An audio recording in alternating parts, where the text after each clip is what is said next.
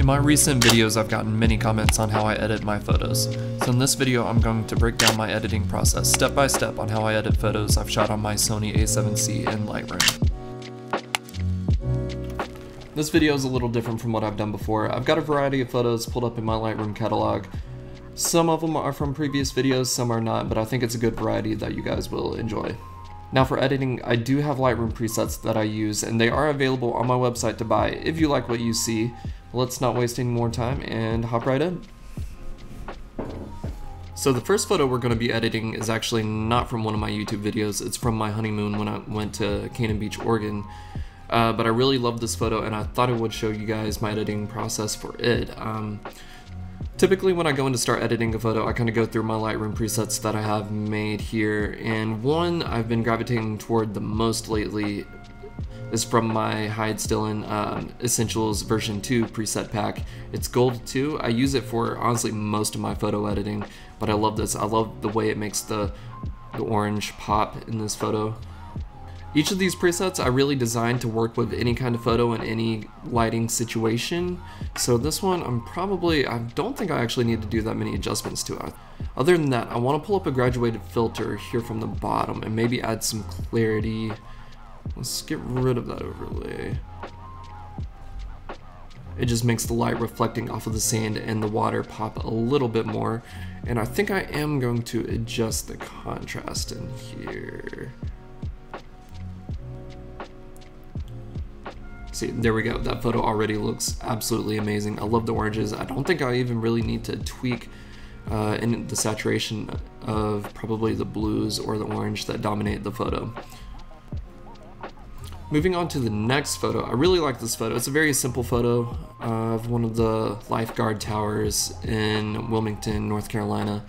Uh, for this photo, I really like the fade preset. I want to say gold 2. I think there's a little bit too contra too much contrast to it. I really love the, the vintage look of my fade preset that it gives photos. I believe I will increase the saturation just a little bit.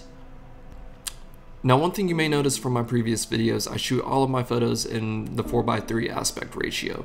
I like doing that because it gives me room in post to adjust the crop just a little bit, and 4x3 is generally perfect for posting on social media. It's pretty close to 4x5. And I feel like 3x2 just has a little bit too much room. There's a little bit too much going on on the top and the bottom, so I think 4x3 is like the perfect middle ground. Let's increase the saturation on the blues just a little bit, not too much though. Yeah, I think that looks perfect. Right now we're moving on to a nighttime photo. This is where it gets a little bit more tricky and you have to play around with it a little bit more. Let's go and just straighten that horizon level there. I think that looks good. Let's go through the presets, see what we like. Normal one, that looks pretty decent.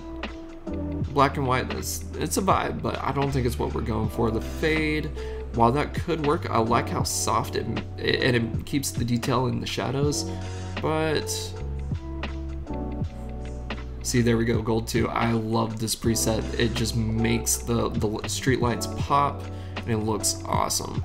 Now the mood, it, it is interesting, but I don't think it works for this photo. So we're gonna go with gold 2. I really love this.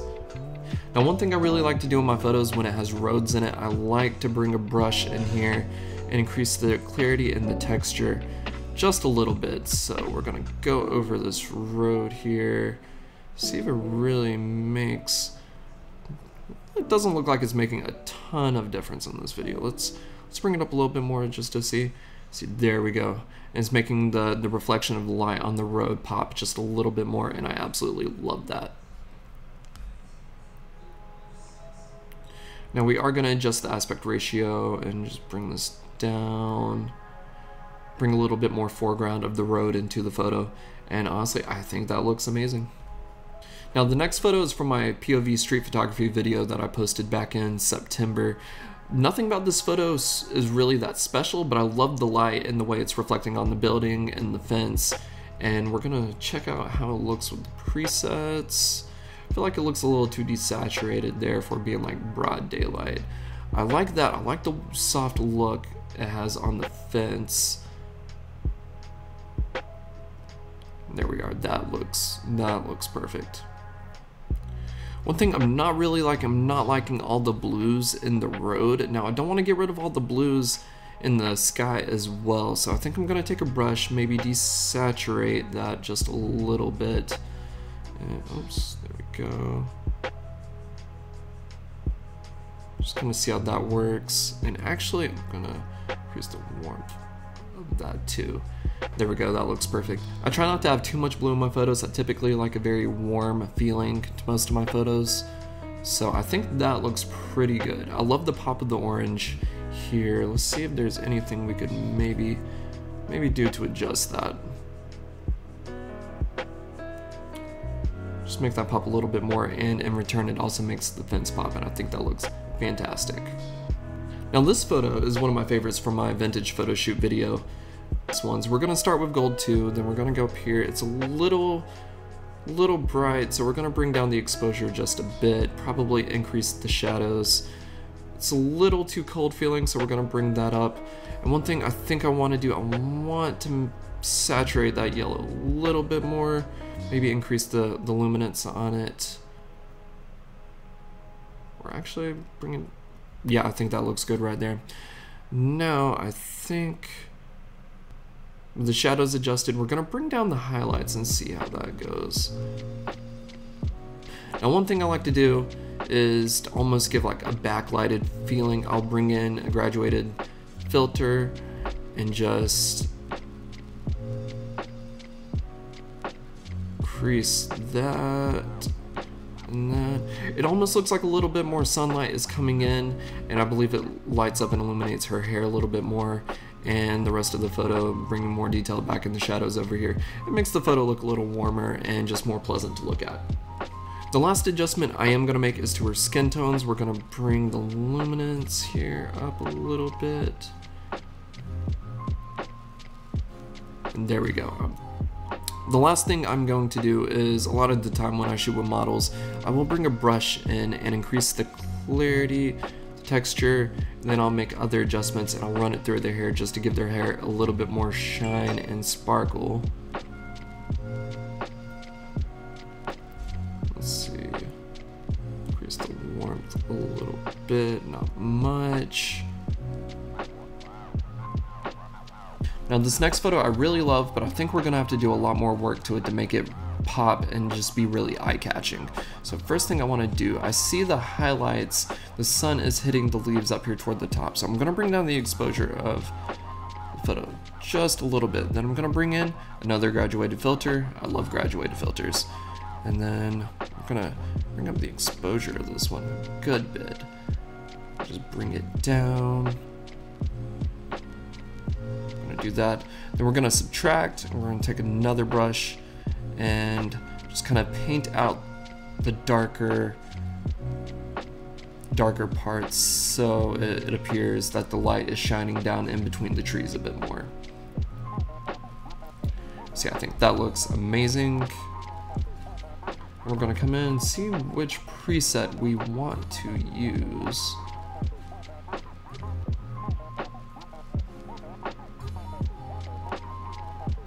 Think we're gonna start with gold 2 as the base, but I think I'm not really happy with the way the greens look. Greens are always really tricky, so we're gonna so we're gonna increase the saturation on that a little bit. I'm gonna adjust the luminance. See if we can make the yellows pop just a little bit. Gonna bring the green back down. I'm starting to like this photo a bit more. Uh, we're gonna come back to the road. I don't really like the way the road looks, so we're gonna bring down the saturation on it, but we're gonna increase the clarity and the texture just a little bit. Maybe bring up the temperature and just see how that is. Probably gonna bring down the exposure on the road just a little bit more.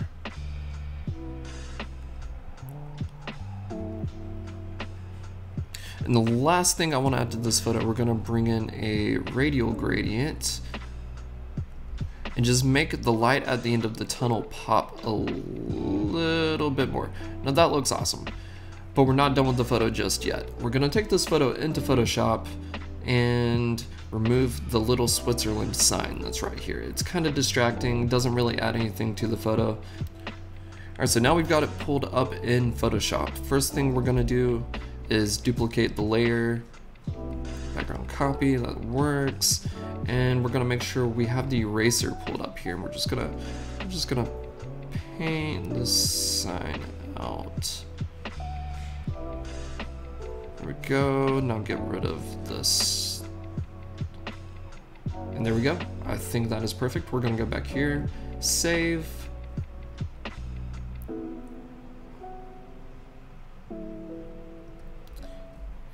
and give it just a second and it'll bring that back into Lightroom. And there we have the new edit and we are ready to export it and this next photo is one of my favorite photos that I've taken in recent time. It's from the first good snow we got here in North Carolina this year. And one of my favorite things about my presets is I love the way it looks on snow photos. I love the slight bluish tint it adds to the snow. And really all we're gonna do, we're gonna apply gold 2. Yeah, I think we're gonna stick with gold 2. And then I'm just gonna increase the increase the contrast a little bit more and decrease the highlights. Let's see how it looks when we bring down the exposure. There we go. That actually brings a little bit more detail through the snow on the buildings. So I think that looks great. I don't really need to adjust any of the saturation or anything else. Don't think we need any any any um I don't think we need any graduated filters on this photo. It looks pretty perfect how it is. This photo is from a recent trip of mine to Philadelphia, and this one is of my wife. Now, this photo is from a recent trip of mine to Philadelphia. I absolutely love this photo. It's my favorite photo from the trip. And this is where shooting in the 4x3 aspect ratio comes in, and it really helps a lot. So I can bring this back down, and I think that is perfect. I wanted to divide the photo in half, basically, and be half her, and then half of the city in the background. And I love the way this turned out. So I think for this photo, we're gonna go with my gold preset and we're gonna increase the exposure just a little bit. The tint, I'm gonna bring a little toward the magenta side. Warm it up just a tiny bit. And we are going to bring a graduated filter in and just not bring up the exposure there bring up the exposure of that, but I don't want to affect the city in the distance. I think that looks good. I want to see a little bit more detail in her outfit, though. It's a little too dark. Just gonna bring a brush, bring up the shadows, and I think that looks pretty good.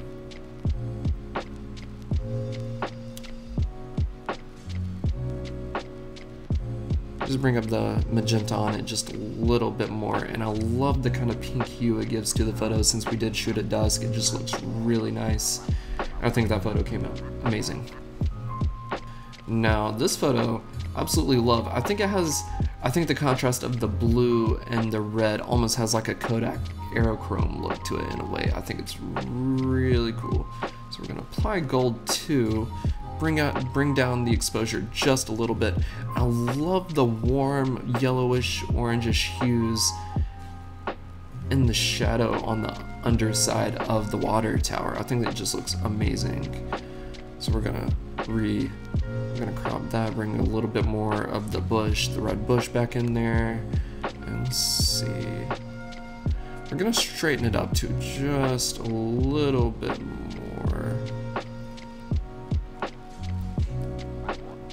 so it doesn't look like a, a leaning tower as much. There we go, and let's make the red on the bush look just a little bit more red, a little bit more orange there. I think that looks good. Let's adjust the luminance.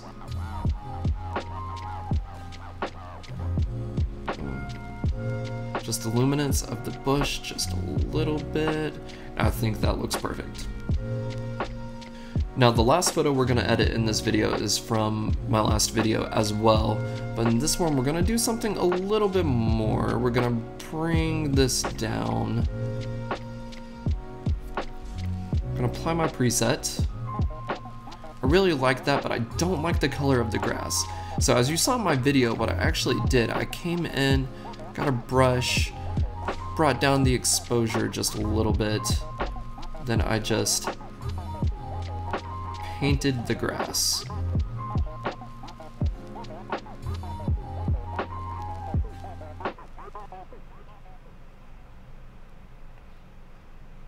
Alright, so now that we have the grass painted, we're going to come in with the hue and just see if we can just make it a little bit more green. We're, oh, we're going the wrong way. There we go. Make sure we didn't miss any spots here. I saw a couple little spots that we missed. There we go. And we're just gonna bring down the exposure a little bit more. Now I'm not really a fan of in the winter when grass just kind of looks dead. I typically like my grass to look green, so I decided to do this. I think it looks pretty close as to how it would look during the summer. You just have to make sure you bring down the exposure as well if you're gonna add this green color in because then it's gonna look too bright and fake. Last thing we're gonna do here in this photo is just adjust the red. Just make that pop a little bit more gonna come in. I think we're gonna straighten it up a bit too since it looks a little crooked. I typically don't turn on profile corrections because I like to keep the moodier look and when you turn on profile corrections it will typically get rid of a lot of the vignetting in the corners and I generally like the vignetting.